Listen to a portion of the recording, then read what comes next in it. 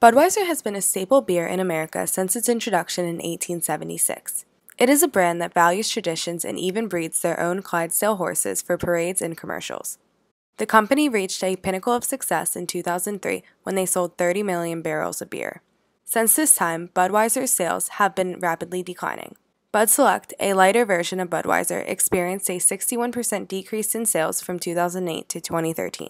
This is due to Budweiser's inability to reach young drinkers and the rise of popularity of craft beers. In 2014, craft beers saw an 18% rise in volume.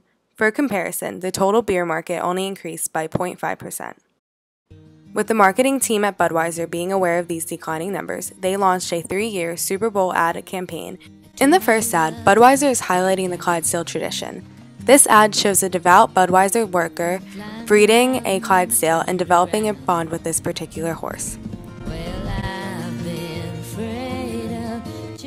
When the Clydesdale is taken to fulfill his destiny as a parade horse, the breeder begins to realize that he misses the horse very much.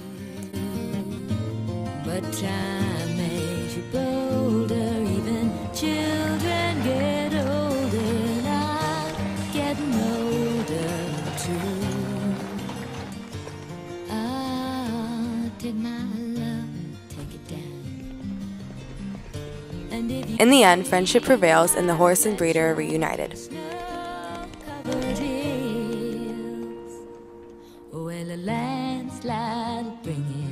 Budweiser also included a hashtag at the end of this ad to attract a younger audience.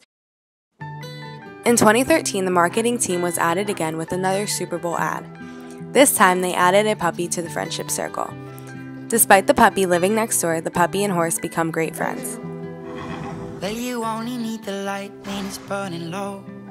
Only miss the sun when it starts to snow. Only know you love her when you let her go. Only know you've been high when you're feeling low. Only hate the road when you're missing home. When the puppy is sold to another owner, the horses come to save him. And you let her go.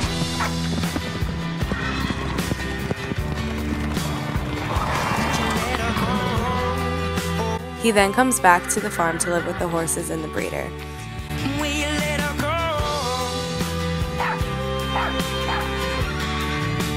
As you can see, Budweiser used another hashtag at the end of this ad. In the third and final ad, the puppy accidentally gets lost.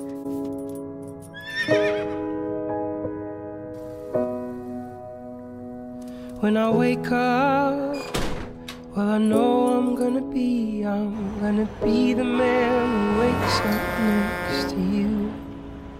And when I go out, he spends the duration of the ad trying to get back home to the Clydesdale farm. I'm gonna be the man who goes along with you.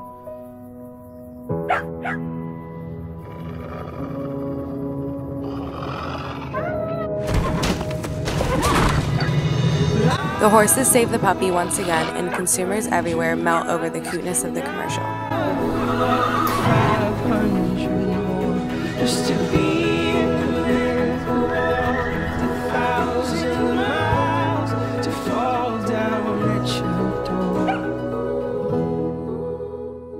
Despite USA Today naming Puppy Love the best Super Bowl ad of 2014 and the popularity of these ads among consumers, Budweiser's sales were still declining. In 2015, Budweiser decided to drop the love and attack the root of the problem craft beers.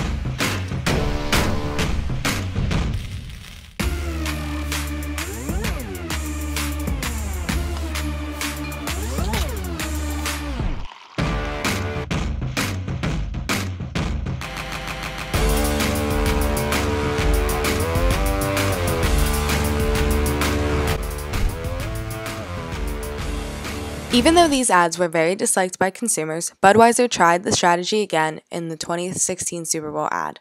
The ad received the same amount of backlash, and even though Budweiser got a shout out from Peyton Manning at the end of the Super Bowl, I'm going to drink a lot of Budweiser tonight, Tracy, I promise you that. Which caused 81% of social media conversations to include Budweiser references, the marketing team is still failing to reach young drinkers. According to Business Insider, a study found that 44% of drinkers aged 21 to 27 have never even tried Budweiser. It will be interesting to see if Budweiser's marketing team can reach young consumers in 2017 and what lies ahead for the future of Budweiser.